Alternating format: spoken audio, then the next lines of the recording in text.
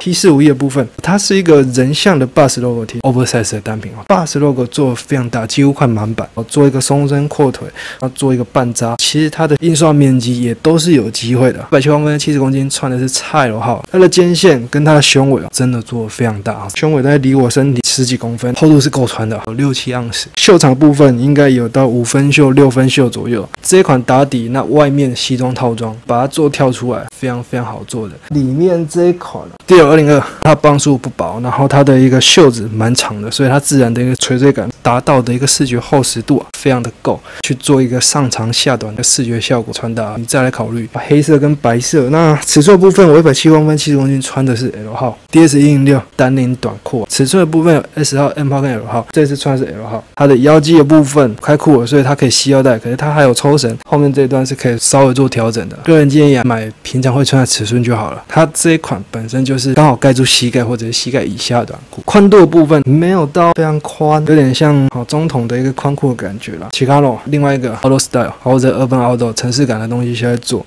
这两个风格应该是最大众最好做的。